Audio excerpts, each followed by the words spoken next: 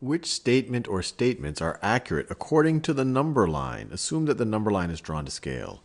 So this first statement is x minus negative x. So you start at x, and from that you're going to subtract negative x.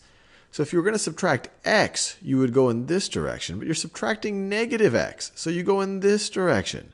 When you subtract a negative, that's the same thing as adding the positive. x minus negative x is the same thing as x plus x. You're actually going to go x more to the right. If you were to subtract a positive, you'd go to the left, but if you subtract a negative, you go to the right. So this should get you to 2x, not to negative x. So this first statement is absolutely not true. Second statement, 0 minus x. 0, now we're going to subtract, so we're going to go to the left. 0 minus x gets you exactly to negative x. So that is true. Now we have 0 minus negative x.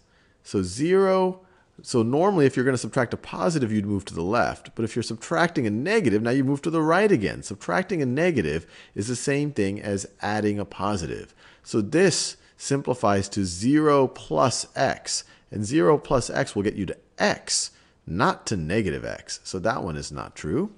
Now this last one, you have 0 plus negative x. So 0, so when you would add a positive number, you'd go to the right. But if you're adding a negative number, you'd go to the left. So 0 plus negative x gets you to negative x. And that makes sense. 0 plus any number is going to be that same number again. So 0 plus negative x is going to be equal to negative x.